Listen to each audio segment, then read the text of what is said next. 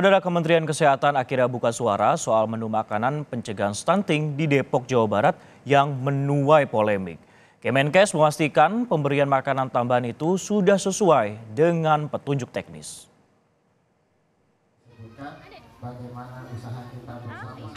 Dinilai tak sesuai standar nutrisi, paket makanan tambahan yang ditujukan untuk mencegah gangguan pertumbuhan pada anak di kota Depok, Jawa Barat menuai polemik. Menyikapi hal itu, Kementerian Kesehatan memastikan menu makanan ataupun kudapan untuk anak balita untuk mencegah stunting bukanlah makanan cepat saji, melainkan berasal dari makanan yang diolah sendiri. Makanan atau kudapan yang diberikan juga sudah sesuai dengan petunjuk teknis dan mengandung dua protein hewani. Untuk makanan tambahan yang kudapan itu sebenarnya kita bisa mengolahnya bermacam-macam ya uh, di dalam buku petunjuk teknis itu kita sudah menyebutkan. Nah, kita juga ada sebenarnya menu uh, resep makanan lokal.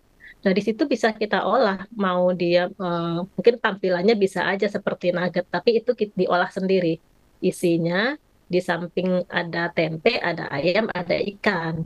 Yang penting itu ada dua protein hewaninya, diolah sendiri. Jadi bukan nugget yang dijual uh, dalam kemasan.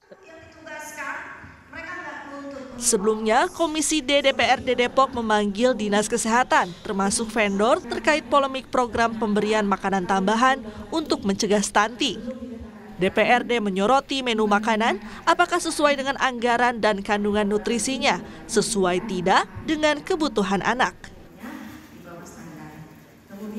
Program ini bagus ya, mengcombine antara peningkatan gizi dan pemberdayaan UMKM yang kan tetapi ada nomenklatur-nomenklatur ataupun ada kegiatan kebijakan yang menurut kita perlu kita pertanyakan. Salah satunya adalah toples tadi.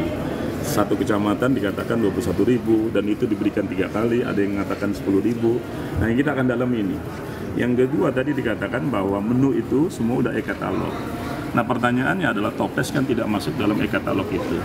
Maka ini akan menjadi pertanyaan kita dan kita akan dalami nanti setelah itu. Tukang dagang itu mengkalkulasi dari kebutuhan gitu ya. Nah total-total sebenarnya kalau dipotong kemasan, MBS Market, terus juga Ocan, itu yang kita terima itu kurang lebih sekitar 12.780 hmm. untuk menu kudapan yang cemilan kudapan. termasuk menu besar.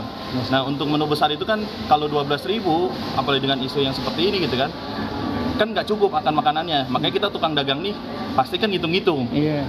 Ya udah kita subsidi silang aja dari keuntungan kudapan yang apa stunting. Ya. Sosialisasi pemberian soal ya, program penanganan stunting selayaknya diberikan secara rinci kepada masyarakat agar tujuan mulia untuk mengatasi gangguan pertumbuhan pada anak bisa tercapai.